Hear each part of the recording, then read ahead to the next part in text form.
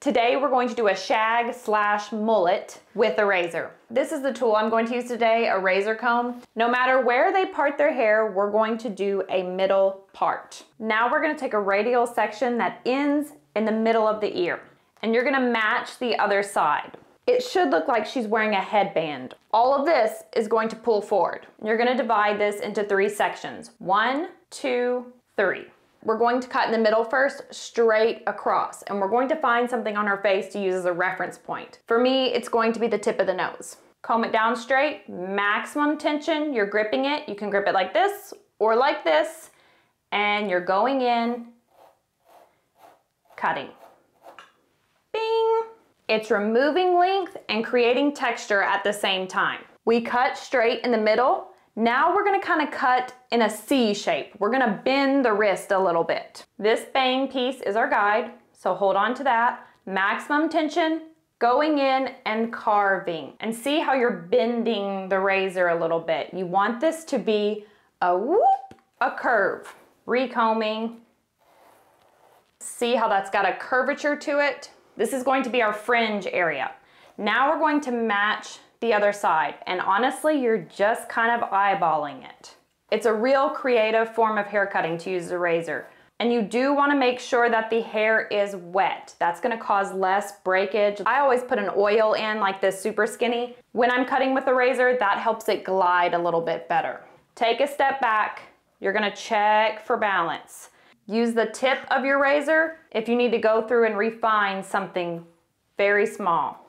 Now we're gonna go through and make another radial subsection, just like she's wearing another headband. It should not be thicker than your comb, an inch, so you can get the razor through it without hacking. You're going to direct all this forward. We can see our guide through it. Over directing it forward, holding tension and cutting against our guide. Not above it, not below it, but right at it.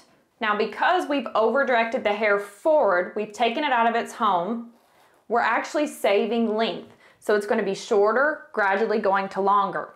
The length I'm cutting this is going to be more of a shag haircut or a wolf cut, whatever you wanna call it. If you're doing a mullet, you may wanna do this a lot shorter. What I do to one side, I do to the other side. Over direct forward, tension, meeting my guide, carving a C shape. Remember you're bending the wrist a little bit, uh, making a curvature. Another radial subsection another headband, move it forward.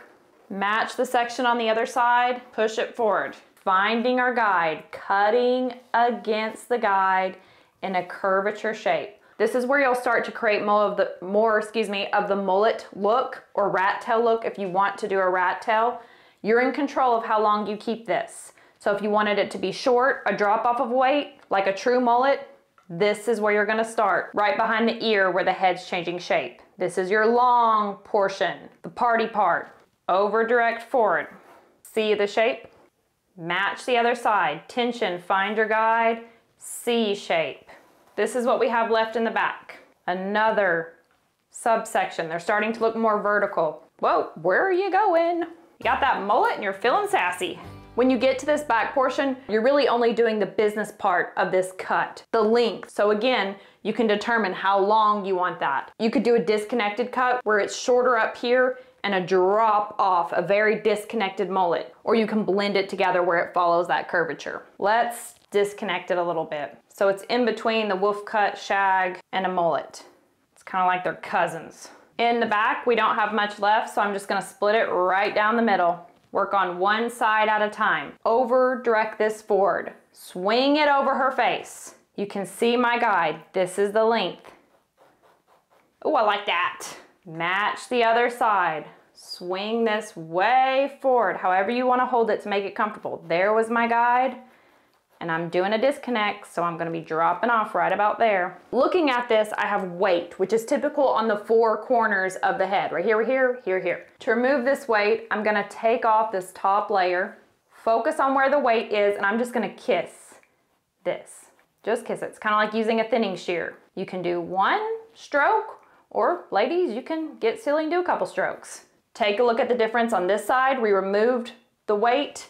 This side, still has it. Now you can go through again with a tip and kind of refine things. Add more texture, For this cut, I would air dry it. I'm gonna use this Xmondo styling serum. It has a light, flexible hold, but it allows it to have texture without frizz. Check it out from the side. Short, gradually getting to long. That's it. Let me know if you have any comments, questions, leave them below. Next Sunday, I'll see you for my other series where we meet in this bathroom and try beauty products and rate them one through 10. It's super serious. Until then, I hope you have a fantastic week and I'll see you next time for something cool.